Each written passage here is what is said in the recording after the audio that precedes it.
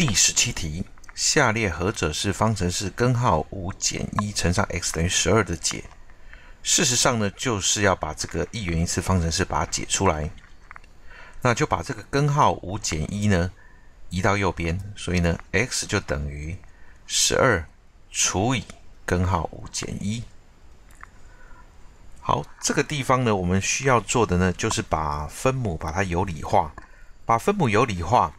分母如果是只有一个根号五，那我们当然乘以根号五就可以了。那可是它是根号五减一，所以呢，这时候呢，我们必须要用一个平方差公式，上下呢都乘以根号五加一。如果前面是减一，这个后面就都乘以根号五加一。那为什么要这么做呢？